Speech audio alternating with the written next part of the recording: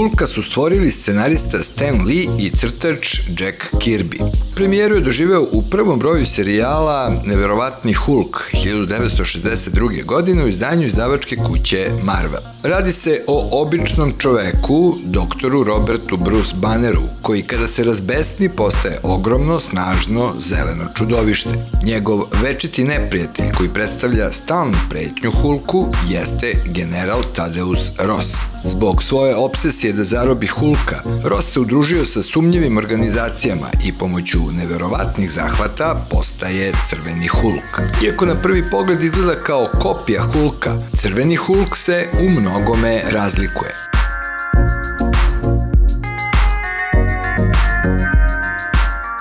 Bi se pretvorio u Hulka, Banneru je uvek neophodna povećana frekvencija rada srca. Ovo često dovodi do toga da se Banner menja kada je najmanje potrebno ili da, kada je to potrebno, ne može da se promeni. Crveni Hulk nema ovaj problem, jer General Ross ima sposobnost da se menja po sobstvenoj volji.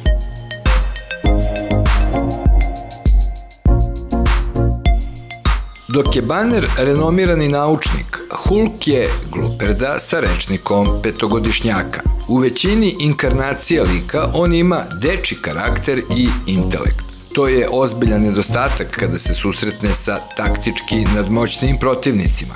Sa druge strane, General Ross zadržava svoj intelekt kada promeni formu i postane crveni Hulk. U kombinaciji sa moći da se menja po volji, ovo ga čini više nego jedinstvenim.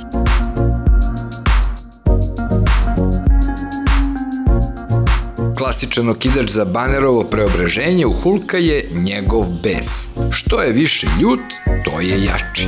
Razne priče u stripovima pokazuju da su njegove gornje granice snage gotovo neograničene. Crveni Hulk postaje sve topliji kada se razbesni, ali ako njegov bes postigne dovoljno veliki nivo, on se onesvesti. Psihologija generala Rosa ne može da se nosi sa tako intenzivnom toplotom. Ipak, njegova toplota je velika moć, jer kad dosegne vrh gornje granice, crveni Hulk može da pretvori pesak u staklo.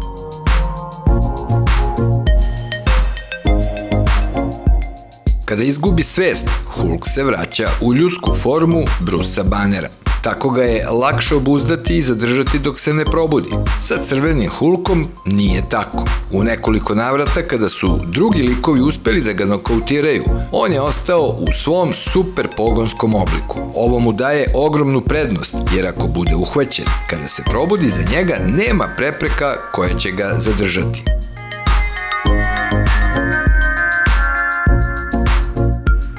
Hulk je nastao kada je velika bomba puna gama zračenja eksplodirala blizu banera. Ogromne količine gama zraka su ušle u njega i zadržale se, te kada se pretvori u Hulka, on zrači gama radijacijom, ali na niskom nivou.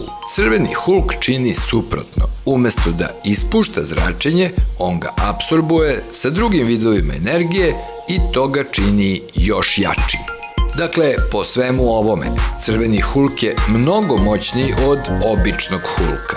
Logično se postavlja pitanje, pa kako onda naš Dr. Banner uvek uspeva da savlada svog ljutog protivnika? Odgovor je više nego jasan. Samo je jedan Hulk.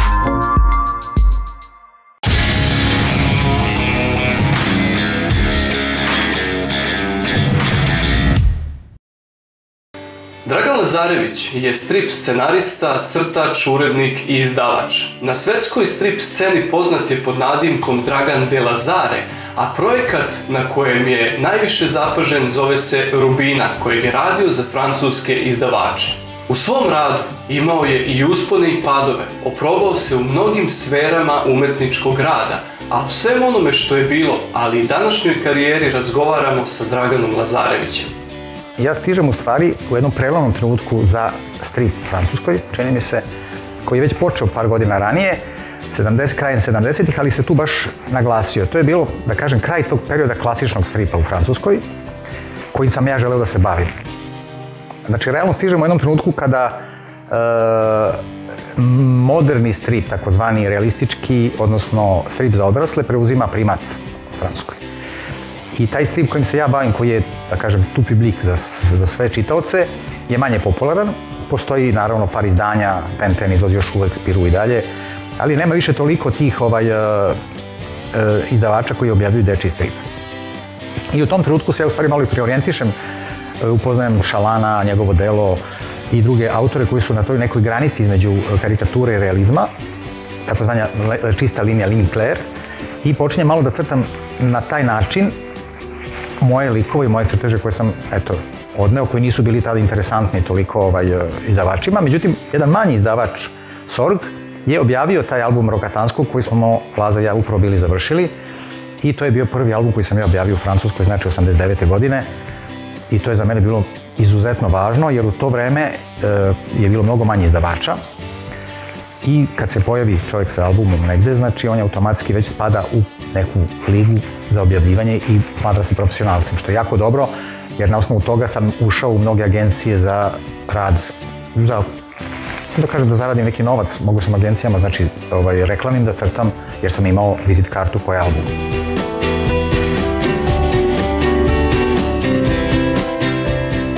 Pošto sam za te albume Prokatanskog koje smo Laza i ja dobili objavili, mi smo dobili, umesto autorskih prava, mi smo dobili hiljadu knjiga. Pošto je taj izdavač bankrotirao, on je svim svojim autorima podelio ono što je moglo malo knjiga, da oni od toga jednostavno pokriju se da nešto radi. A u Francuskoj postoji taj neki, da kažem, navika i tradicija da na svakih nedelju dana imate neku konvenciju stripa, neki salon, bilo gde. I tu u okolini dosta Pariza. I onda sam ja počeo da idem po tim znači, vikendima na te festivale, na te konvencije sa ljudima koje sam znao, koji su imali fanzine, koji su imali neki štand, prodavali neke crteže, majice, šta god. I po, pokušavao sam da prodam te albume, znači da, da nekako unovčim to, da preživim. Radeći naravno već te poslove u agencijama za reklame koje su bile već meni dostupne zahvaljujući tom albumu. U jednoj, na jednoj od tih konvencija se desilo da je se da je, da je taj moj scenar, da je taj moj izdavač pardon bio tu prisutan i neko ko je kupio album kod njega je prilazeći video da ja crtam posvetu rekao, zar ste vi autor tog albuma? Kaže, jesam. Kaže, kako onda meni onaj crta tamo? Kaže, vaš lik. Ja pogledam ono nešto bez veze, nacrtam kao taj rokatanski ko nogom. I ja vidim da je to Sorg radio i ja kažem, pa to ovaj izdavač pokušava da proda svoj lager, pa vratno crta da bi... I ovaj se iznervira, čovjek ode i posvađa se sa tim izdavačem koji je došao posle ljut na mene, da što sam ja kao njega nahuškao. Na njega. Međutim, u jednom trenutku on počeo ovako da uzmiče, kao, kao da je video avet, i ja osetim neku veliku senku ovako iznad, iznad sebe, okrenem se i vidim diva jednog iza mene, koji pita, mali, imaš neki problem s ovim tamo? I ovaj š, moj izdavač, taj bivši šmugne, pobegne, ja upoznam Mitika, koji je jedan, jedan div od čoveka, koji je scenarista, znači tad već bio poznat u Spiru i tako dalje, ali koji je bio na tom štandu gde ja, ali nisam ja ni znao da je on tu, nego on jednostavno video da imam problem, pa uskočio. I mi tu počnemo da sarađujemo zajedno, poznamo se, družimo se, ja išao kod njega u Brisel i tako. Pokušavali smo i neke stripove da napravimo, da plasiramo, to je bilo jako teško, sve ništa nije išlo. Dok me jednog dana nije pozvao i rekao, ovaj, da li si ti zainteresovan da radiš sa Valterijem? Eto, to je, bilo, to je bio početak. Ja sam rekao kako da ne, naravno da sam bio zainteresovan, jer mi je bilo, ovaj, uh, uvek sam volio taj stil koji on u Nataši imao, a ovaj, uh, treba je neko da mu pomogne za neki nov serijal. Znači nešto što je potpuno novo, ne u Nataši.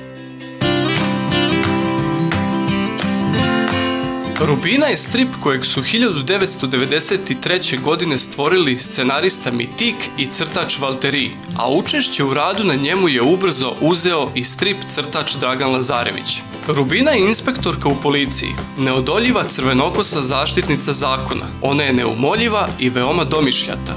Rubina je karikaturalan lik, veoma popularan na francuskom strip tržištu. Pa u početku je trebalo da bude u stvari da ja radim dekore, a da on crta likove. E sad, kad sam ja radio probnu tablu, jer nas je pet, pet autora radilo probne table, ovaj, ja nisam bio lenj pa sam nacrtao taj lik Rubine u tim tablama i poslao sam tako olovku, dok su drugi vjerojatno radili samo te dekore koje su bili na, na, po scenariju. I samo me su me pozvali da Brisel, da, odnosno dali su me da istuširam, da probam da istuširam. Kad sam istuširao tablu, videli su da znam. I onda me Alteri pozvao rekao, možeš ti to sam da radiš. I tako sam u stvari krenuo pod njegovim nadzorom. Ja sam znači, u Parizu žive, on je žive u, u, i dan dana živi u Belgiji. I onda smo mi poštom, njemu nacrtamo olovke sve, pošaljem poštom, on koriguje ako nešto želi, ispravi vratim, ja onda to istuširam i tako smo radili prva dva albuma, posle me pustio da radim sam.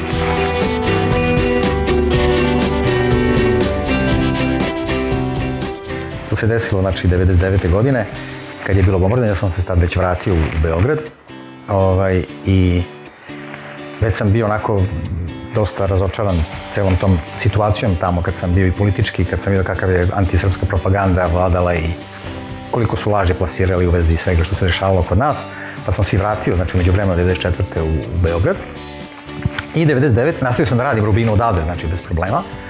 Slao sam table tamo, ali 99. je pala bomba na 250 metara od našeg, to je bio moj sin, da sam ja shvatio da u stvari je faktički oni nas, mislim oni nas ubijali u svakom slučaju tada, ali kad čovjek doživi to nekako lično ovako, jedno sam je pukao film i onda sam im napisao jedno onako žestoko pismo, rekao sam da ne mogu ja da zasmejam njihovu decu dok oni ubijaju našu i tu sam zaustavio, znači tu saradnju, u trenutku kad sam u stvari baš počeo lepo od toga da živim i kad je već Rubina osmi album je već bila, znači dobro je napredovala i moglo je vjerojatno da bude jedan serijal koji bi se lepo održao da sam nastavio da ga radim, što mi svi kažu, jer posle mene baš nisu zadovoljni kako su ovi drugi nastavili neki da rade. Tako da, ovaj, e, eto, do, do tada se to, ta saradnja održala, znači od 91. do 99. Tada sam prekinuo potpuno kontakte sa svima u Francuskoj što se tiče stripa, sa Belgijom i tako dalje. I osnovao sam svoju firmu ovde u Srbiji, kojom sam se bavio 15 godina, dok se pre 3-4 godine nisam ovaj, vratio ponovo stripu kad sam zatvorio firmu.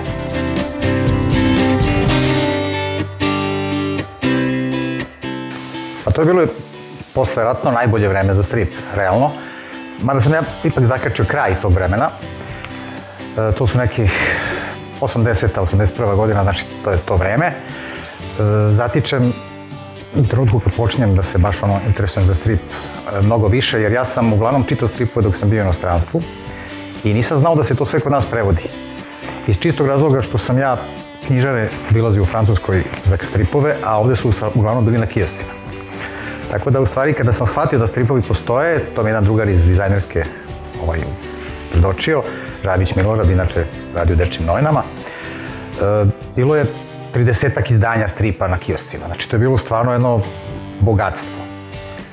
E, u tom trenutku čak i U-strip bio veoma, veoma popularan i on je bio u stvari okosnica tog stvaralaštva kod nas, ali smo zato imali sve druge stripove sveta i američke, i španske, i francuske, i belgijske, i italijanske, sve to je objavljivano u tom trenutku u toj bivšoj Jugoslaviji, raspodeljeno znači između dečih novina, marketinta, dnevnika i čak je i vjesnik objavljivo neke stvari koje su bile više licencne, ali su i oni radili taj strip.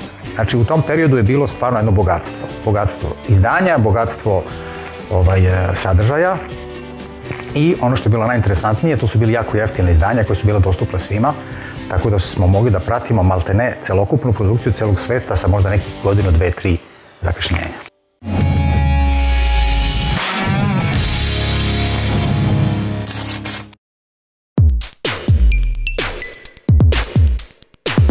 Danas su Osvetnici globalno poznat superherojski tim, pre svega zbog filmova koji su rađeni prema pričama o njima. Prvu, mogli bi reći nezvaničnu postavu Osvetnika, činili su Iron Man, Čovek mrav, Osa i Thor. Iako su se i ranije mnogi različiti super junaci i super negativci iz Marvelove radionice povremeno sretali i mešali, 1963. godine rodio se ovaj tim koji je u kasnijim godinama doživeo mnogobrojne promene. U prvoj epizodi Osvetnika, Loki, usvojeni brat Tora, boga groma, želeo je da se osveti Toru zato što ga je ovaj prognao na pusto ostravo. Zahvaljujući svojim mentalnim sposobnostima, Hulka je pretvorio u krajnje ozbiljnog negativca. Grupa radioamatera je tražeći pomoć slučajno, umesto fantastičnoj četvorki, poslala poruku drugim superherojima koji su došli da zajedno zaustave najjačeg stvora na planeti. Pobeda udruženih superheroja ih je povezala, Hulk im se pridružio i tako su nastali prvi osvetnici.